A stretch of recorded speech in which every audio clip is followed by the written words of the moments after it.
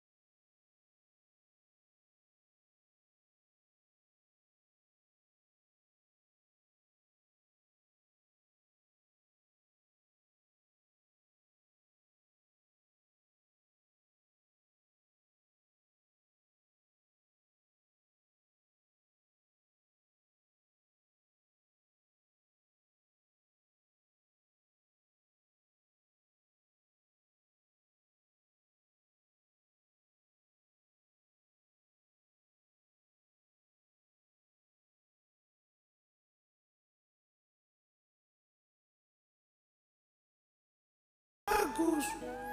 Apa tak sebagai gelang-gelangan?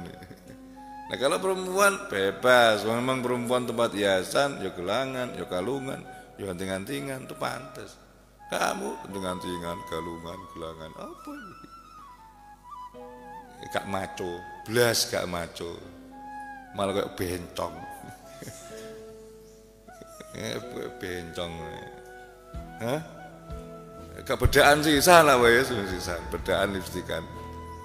Laki-laki mondok jero di lemari ini alat lipstik alat alat dak segala macam iki opo bencong opo santri nyantri jero lemari bukan kitab malah alat-alat kosmetik. Tapi apa no wajahmu yo pancet ireng ngono iku Aku mau sikat ya tetep ireng ngajen aslimu ireng. Asli lahir kok bapakmu ya sireng. Wene putih malah bapakmu dicurigai.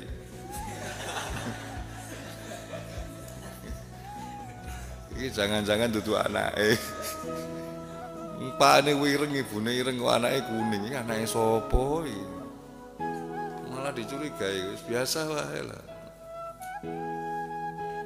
Isi kitab, lemari sini kita buku pulpen pantes sini buka ini. Untuk Nivea. Ngono pemene bedak kalau tapi mondok apa tadi bencong gue kalau laki-laki itu yang maco ya yang maco. Perempuan pantas perempuan memang di situ. Alat kecantikan pantas itu lanang tidak pantas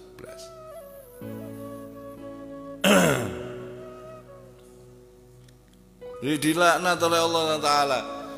laknatullah alal alal rijal al bin nisa wa alan nisa al mutasyabbihati bir rijal Allah itu melaknat laki-laki yang serupa dengan perempuan dan Allah juga melaknat wanita yang serupa dengan laki-laki yang menyerupai laki-laki. Ini semua ada tempatnya, ada tempatnya di sendiri. Cincin itu boleh laki-laki tapi bukan dari emas, tapi dari perak sunnah. Cincin yang terbuat dari perak itu sunnah.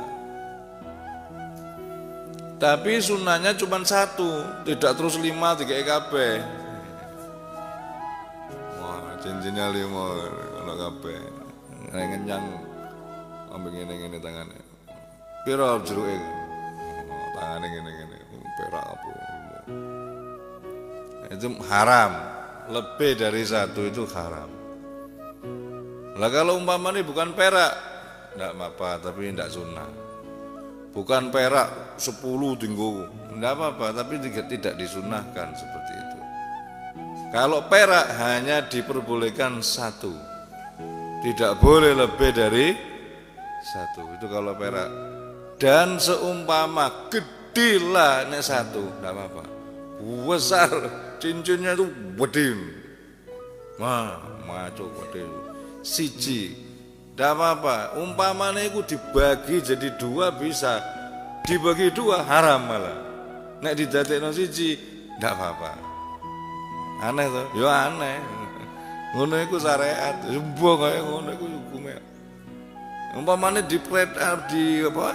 Dipisah di apa? Diambil. Iku kira 10 gram misalnya tiga lima graman. Haram. Langsung digabung jadi sisi 10 gram. Enggak apa-apa. Nah terus cincin itu sunnahnya di mana? Sunnahnya itu di sebelah tangan kanan. Tangan kanan. Tangan kanan. Terus tangan kanan ini ditaruh di mana? Lima jari ini berebut. Katanya jempol. Saya Kenapa? Loh, saya ini ibu jari loh. Ibu loh. ibu saya ini. Oh, pantas loh ibu DKI. DKI jin. Jin, jin. Nah terus, kalau kamu, oh saya jari telunjuk. Saya lebih pantas. Buat nuding. Paling pas. Hati-hati, hati-hati. La ilaha illallah kan gitu. Ora ono la ilaha illallah pakai jempol. Pantasnya la ilaha illallah gini. Nah kamu yang tengah, wah saya kan paling gede di antara lima itu paling gede saya. Nah, ya. pantasnya sih gede gitu kayak paling gede, dhuwur lo, paling dhuwur tengah. Lah sebelahnya manis, jari paling manis ini paling manis ini. Cocok kayak cincin. Lah kamu sebelahnya alah bola aku yang paling cilik. Gak ada paling di buri, di buri dewe gak ada paling pinggir dewe kecil. Ah aku gak punya apa-apa. Paling paling driji paling tidak manfaat saya ini. Katanya cilik cari kelingking. Akhirnya Allah ngasihkan ke cari kelingking. Kau yang paling tawa tuh Masya Allah cincin ini saya sunnahkan untuk masuk ke kamu. Jadi sunnahnya itu di jari